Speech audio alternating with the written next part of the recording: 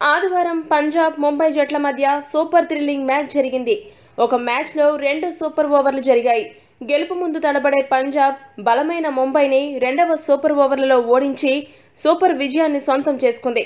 అయితే ఈ సూపర్ విజయంలో మయాంక్ అగర్వాల్ బ్యాటింగ్లోనే కాకుండా ఫీల్డింగ్లో కూడా సూపర్ మ్యాన్ లాగా ఫీల్డింగ్ చేసి తన సత్తా చాటాడు.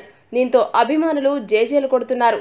వివరాల్లోకి వెళ్తే పంజాబ్ రెండవ సూపర్ ఓవర్ని క్రిస్ జోర్డాన్ వేశాడు. అతడు వేసిన చివరి బంతిని పోలార్డ్ భారీ సిక్సర్గా మరిచే ప్రయత్నం చేశాడు. అందరూ అది సిక్సర్ అనుకున్నారు. కానీ బౌండరీ దగ్గర మయాంక్ అగర్వాల్ అనూహ్యంగా గాల్లోకి ఎగిరి బంతిని బౌండరీకి యువతల పడేసి తాను మాత్రం బౌండరీలో పడ్డాడు.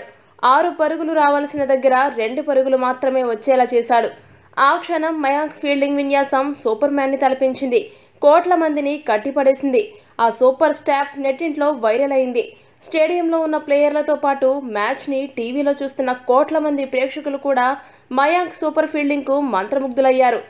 ఆ సమయంలో మయాంక్ మోచేతికి గాయం కూడా అయింది. మోచేతికి గాయమైనా దానిని ఏమాత్రం పట్టించుకోకుండా సూపర్ ఓవర్లో బ్యాటింగ్ చేయడానికి వెళ్ళిన తీరు క్రికెట్ ప్రేమికులను మరింతగా ఆకట్టుకుంది. మయాంక్ గనుక ఆ సిక్స్ ఆపకుండా ఉండి ఉంటే మ్యాచ్ ముంబై చేతిలోకి వెళ్ళిపోయేదేమో అనిపించింది. ఈ వీడియో గనుక మీకు నచ్చినట్లయితే లైక్ షేర్ కామెంట్ చేయండి. మరిన్ని ఆసక్తికర అంశాల కోసం మా ఛానల్ని సబ్స్క్రైబ్ చేసుకోండి.